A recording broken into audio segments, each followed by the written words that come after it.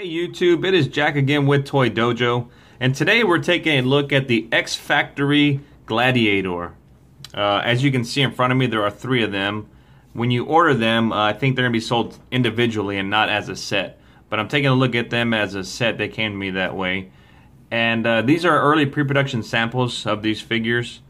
Uh, just to kind of give you a little bit of a backstory of what these figures are, uh, if you're not familiar with it, if we go back to the G1 cartoon, uh, the specific episode was the key to Vector Sigma, or the episode where Megatron comes up with the Stunticons.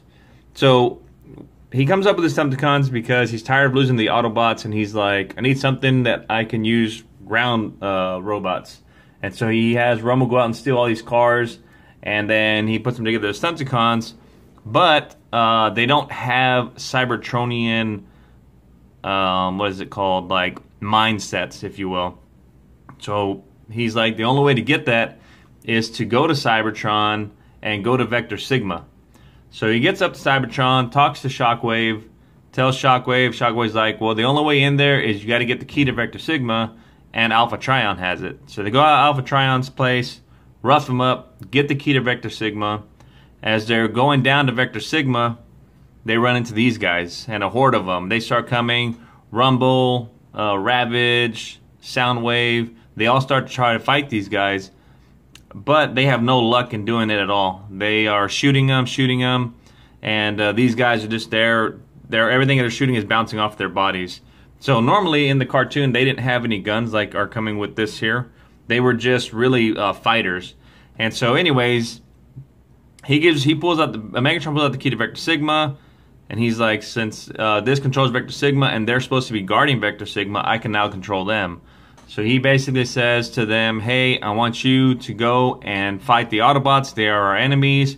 Go to the surface and fight them. So he goes off to Vector Sigma, gets the um, personalities for the Stunticons, and Optimus Prime with, uh, I think it's Ratchet, Wheeljack, um, Alpha Trion, I believe it's Hoist, and uh, I think, I can't remember if Ironhide was there or not.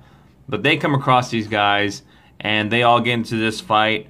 The Autobots know at some point it's a losing battle because um, Alpha Trion tells them that, and so they back off and they get these like uh, just droid robots, and these here are actually called uh, Centurion droids, is what uh, Megatron calls them when he first comes up to them.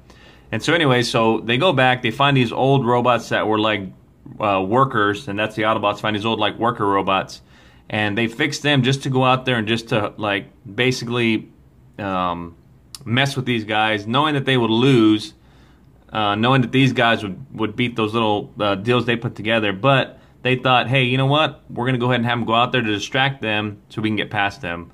So sure enough, they distract them, and uh, those droids, other droid workers, just start like walking off this cliff basically, and these guys follow them and end up going down into it. And that's how they get rid of them.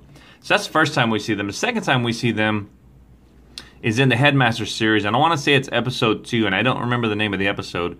But uh, Prime's going back down to Vector Sigma, and he comes across them again, and this time he like bowls through all of them. So uh, just goes to show what a few years does, you know, with that. So, anyways, that's just a little bit of backstory with these guys here. Um, so Ex-Factory uh, went ahead and made these here, and like I said, they are an early pre-production sample. Um, the one thing about them, they do not transform at all. Basically, right here, what you see is what you're going to get. So just taking a look at them, um, this is the way they looked in the G1 cartoon. And so they're just big green uh, robots. Basically, that's it. So let's kind of go over articulation. The head itself does not rotate at all. The arms go up, and you can tell it's really loose, so that's how I know these are an early pre-production pre-production sample. But the arms go up like that. It does rotate 360 degrees like so. It's got an upper bicep swivel right there. Right here it does bend at the elbow. And the wrists do rotate right here. The fingers themselves, the thumb here is on a ball joint. We see that.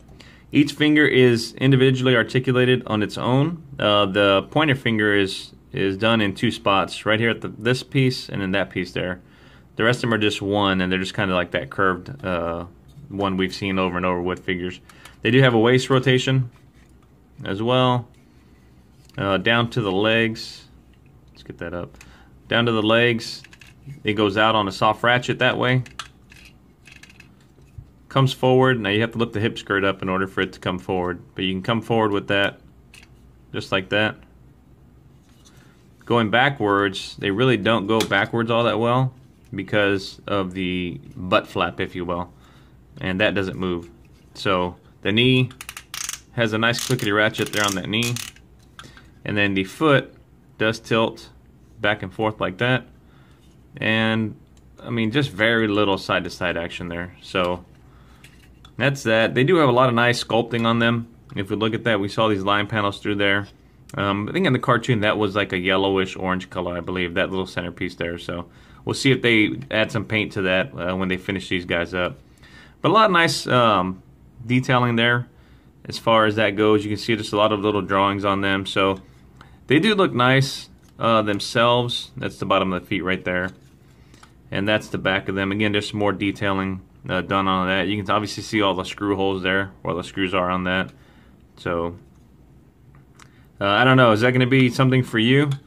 Um, you know, I guess we'll wait and see. I think it would be cool, though, to have these guys and then have the uh, Vector Sigma ball uh, with the key to Vector Sigma and having them guard that, you know, just as a display. So I think that'd be cool. Uh, taking a look at the gun here, and that went out of focus there. There we go. Taking a look at the gun right there. It's a nice gun. Uh, it's just all again all green like they are, and so you know it's just it's a gun basically. But like I said in the cartoon, they didn't have any weapons, and again, pre-production sample these should be glued together. I'm sure at some point. So that's basically you know it as far as articulation, all that kind of stuff with these guys. So what I'll do is I'll pull in some of the guys that were in that episode with them, just kind of show you height comparisons with them. There's uh, MP10 with them right here. So just show you how they scale with MP10. Let me move this back a little bit right there. Uh, I'm going to bring in Wheeljack. So you can show how MP Wheeljack scales with them. And then Ratchet as well. So we see how Ratchet scales with them as well. Let's get Prime over a little bit. And just pull Ratchet in right there. To just kind of show you the size of them, I believe they're supposed to be like 8 or 9 inches tall. So, um, I, there's really nothing more I can say about them, and we showed them off. It's just a quick little video. Uh, like I said, they do not transform. But what I'm going to do is I'm going to put a link in the description below where you can um, pre-order these if you'd like to get one of these or two or three or 50. Um, it's up to you, but I'm going to put a link in the description below where you can order them. Uh, let me know what you think. Please comment, like, subscribe. And uh, as always, until next time, stay safe.